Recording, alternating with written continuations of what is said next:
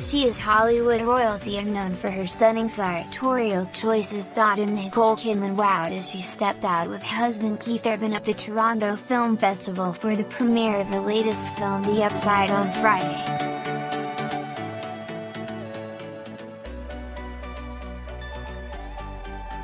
The youthful actress, 50, glowed as she rocked a stunning off-the-shoulder black gown with sweetheart neckline which showed off a hint of décolletage as she lovingly embraced her dapper beau, 49.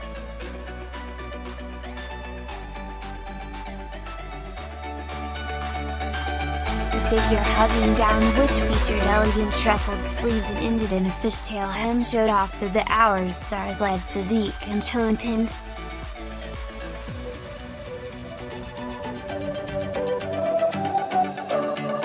Her platinum locks were worn sleek and straight and parted in the middle. The Australian star accentuated her sparkling peepers with fluttery lashes and liner while her lips were slick with a berry blast.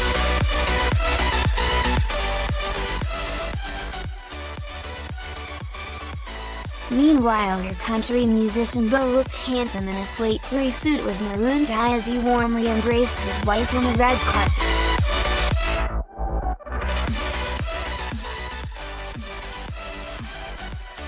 The couple, who wed in 2006, looked closer than ever as they sweetly held hands, stared into each other's eyes and smiled for the cameras.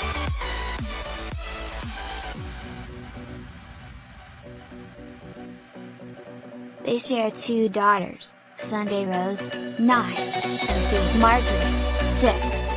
She also has son Connor, 22, and daughter Isabella, 24 who she adopted during her marriage to Tom Cruise.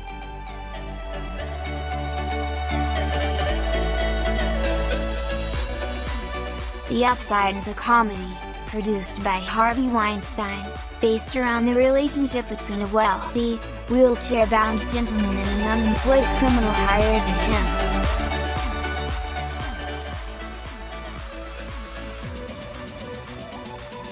Nicole plays Yvonne in the film, which she recently revealed was exciting she would use her own accent she said, My next film I got to use my own accent again, something I want to do more of.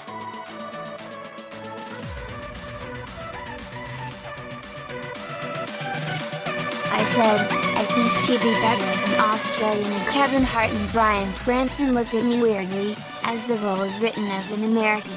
But Harvey Weinstein said, yep, She's Australian Nicole has had packed schedule including her Oscar-nominated Turning Lion, roles in The Big Isle, Top of the Lake, China Girl and The Killing of a Sacred Deer.